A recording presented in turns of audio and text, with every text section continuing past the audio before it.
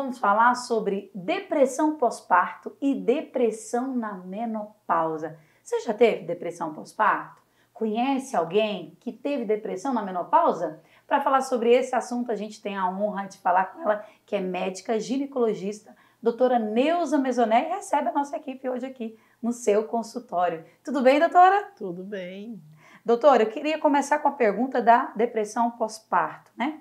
É, por que, que algumas mulheres têm depressão pós-parto e outras não? É uma questão genética? O que, que acontece? A depressão pós-parto está muito relacionada a problemas genéticos também, a como que a paciente viveu o período gestacional, como que estava o relacionamento dela e na gestação também ocorre um distúrbio nos hormônios, mulheres que durante a gestação elas têm também algumas doenças como diabetes gestacional, nível de pressão alta. Todas essas questões são questões que podem desencadear uma depressão pós-parto. Para a gente de detectar se a mulher tem essa depressão pós-parto, ela vai sentir uma tristeza imensa na hora que nasce a criança, que sai a placenta, então por isso que os níveis hormonais estão relacionados, mas não são todas as mulheres. Mas quando ela perde a placenta e vem os hormônios da placenta, que é principalmente a progesterona, então ela começa a cair muito os níveis de alegria, de satisfação, porque o, a progesterona é o hormônio que acalma, e, e ela perdendo essa progesterona, ela pode desencadear. Existe a depressão propriamente dita e uma distimia, um baby blue que eles chamam, né, que é só por um determinado período e depois ela passa. Mas tem mulheres que elas não conseguem nem amamentar, não conseguem nem ver o filho, que aquilo causa irritabilidade, ela não quer nem ver a criança. Então, quando começam esses sintomas de a mulher não querer ver a criança, não querer receber visita, querer ficar isolada, tudo isso são sintomas de que ela está entrando numa depressão. Então, a família tem que ficar muito atenta a esses sintomas, porque ela precisa de ajuda, ela precisa ser tratada, porque ela pode desencadear uma depressão que vai ser mais recorrente, ela pode manter essa depressão.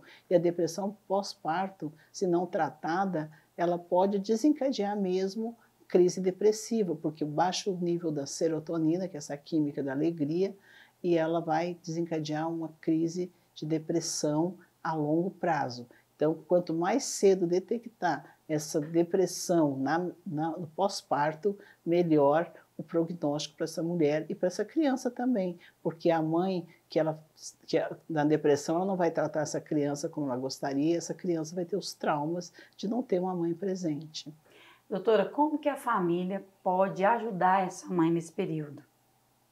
a família pode ajudar a mulher que está passando por esse momento de depressão pós-parto, ajudando essa mulher, dando apoio, principalmente o apoio emocional e o apoio físico também, deixando ela dormir no momento que a criança está acordada, está muito, chorando muito, procurar acalmar essa criança, buscar a, e, e, ajudar nos serviços domésticos também, porque às vezes a mulher também está sobrecarregada. Às vezes uma mulher, uma mãe que trabalhava fora, ficou trabalhando durante todo o período gestacional e outros problemas emocionais que envolvem essa mulher. Uma mulher grávida é uma mulher que tem também vários problemas que podem desencadear essa depressão.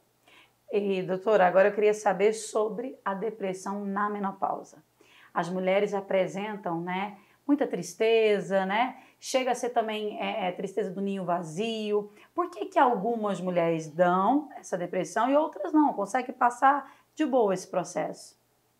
A depressão na menopausa ocorre devido aos níveis hormonais estarem desestabilizados. Então, antes de ela entrar na menopausa, ela tem o climatério, e se ela também já tem outros problemas emocionais envolvidos, como casamento já não está mais tão bom, o, a síndrome do ninho vazio, os filhos vão saindo de casa e ela vai se sentindo sozinha, vazia, a motivação que ela tinha muitas vezes eram os filhos para permanecer.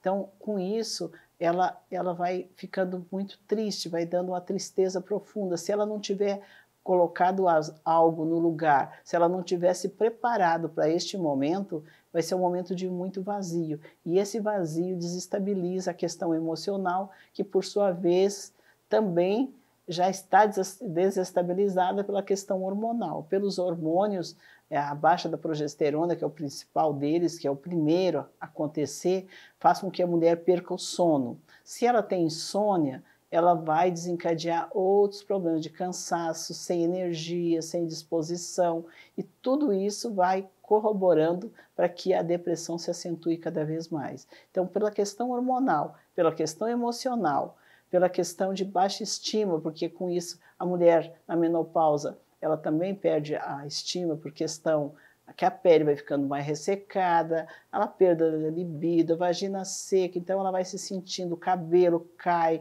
muda toda a estrutura do cabelo, todas essas questões também afetam a mulher, a questão de aparência é muito importante, isso afeta, e vai também alterando essa questão emocional que desestabiliza os hormônios. Então, nem sei quem veio primeiro, se o ovo ou a galinha, né? Então, uma coisa desestabiliza a outra. Então, é muito comum a depressão na menopausa pela questão hormonal, principalmente. E tem tratamento, né, doutora? E essa questão da depressão, da menopausa, tem tratamento. Basta ela fazer a reposição hormonal e regular os níveis dos neurotransmissores, que ele com a questão hormonal caem também os neurotransmissores. Então, esses neurotransmissores precisam ser repostos principalmente serotonina, dopamina, que é um outro neurotransmissor muito importante para a questão de libido e para a questão de melhora da autoestima. Então, existe solução, sim, para a depressão na menopausa. Ela tem que buscar ajuda médica e, e estabilizar esses hormônios. E talvez até usar um antidepressivo por um tempo determinado. Doutora, quero agradecer sua participação conosco. Lembrando você de casa, né, que a doutora Neuza tem as suas redes sociais, tem também um canal no YouTube que traz sempre várias informações para ajudar você, mulher, a ser mais feliz, mais saudável, né? Continuar aí crescendo com a sua família e seus filhos de uma forma bem saudável. Qual que é a rede social? Clínica Longevidade Saúde e doutora Neuza Mesoné. Tá aí para você na tela, é só seguir as redes sociais e acompanhar todas as dicas. Obrigada mais uma vez, doutora. Eu que agradeço. Depressão na menopausa e depressão pós-parto. Tem saída, tem tratamento.